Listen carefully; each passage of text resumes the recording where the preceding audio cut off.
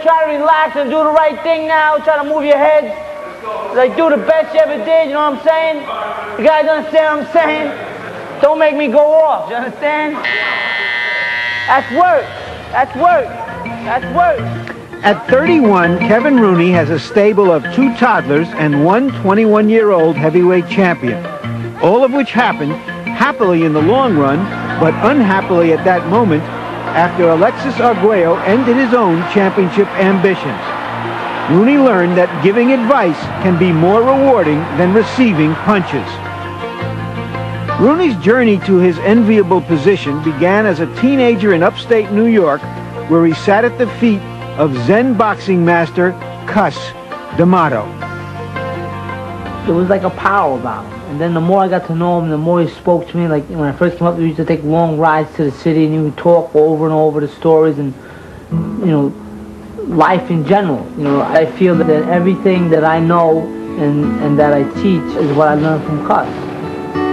Rooney was D'Amato's keenest disciple when Tyson arrived at age 14 from a correctional institution. Gradually, a bond developed between the amateur and the pro, and D'Amato groomed Rooney to carry on his legacy through the future champion, even though he had never trained anyone before. The torch was passed when D'Amato died a year and a half ago.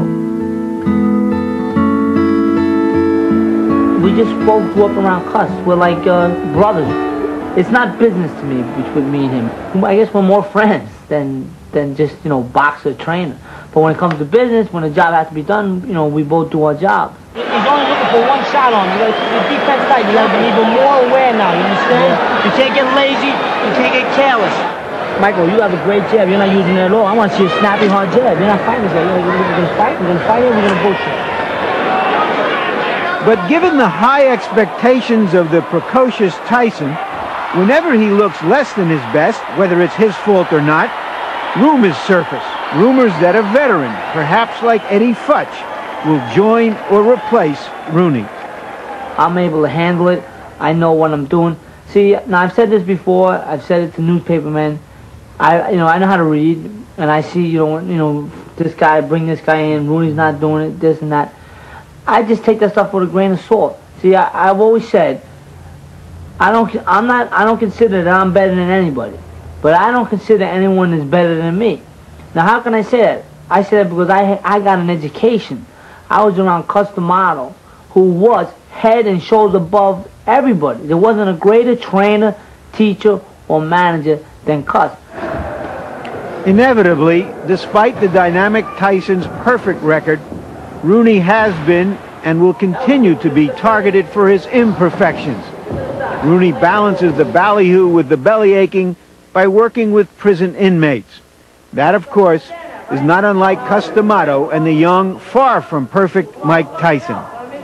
We're all dealt hands in life. Now, these guys, you know, their environment or whatever, or they, or they were just, you know, not too bright at the time they committed their, their, their crimes or whatever. So, well, I, I seen that side of life. So, and then I met a guy like Cus. So, well, now let me, you know, let me try to help. See, I don't need the job. But for the reason I told you before, it's a way for me to refine my skills. Whatever the pressure of his job, the responsibility that goes with the opportunity, life is a knockout for Kevin Rooney right now, as it is for Mike Tyson and everyone around him. I think we got a little bit of a dynasty going, and if we want to roll, I feel like give him good advice. Now, if the fighter goes out there and does it, that's good.